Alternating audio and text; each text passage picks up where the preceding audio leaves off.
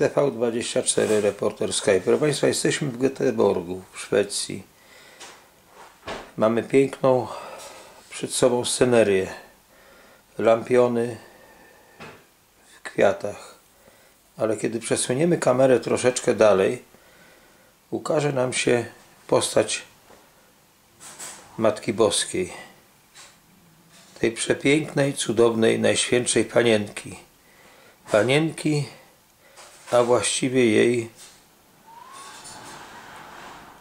no właśnie, drodzy Państwo, to jest to, co Szwedzi chcieli z hotelu wyrzucić i co uratował nasz rodak,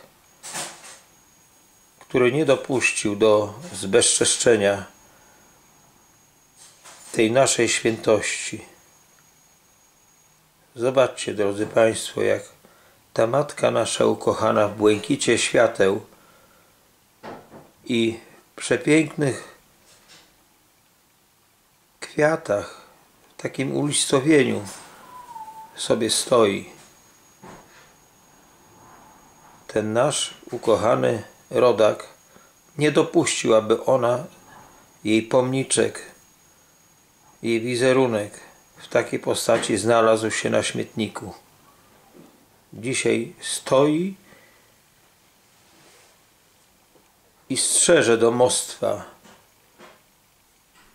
tych wspaniałych ludzi, którzy uszanowali jej świętość. Drodzy Państwo, kto będzie to oglądał, niech złoży tak dłonie, jak ona składa i niech się pomodli za ten świat, któremu tak bardzo brakuje modlitwy, któremu tak bardzo brakuje serca i miłości. Matko Najświętsza, módl się za nami. TV 24 Reporter Sky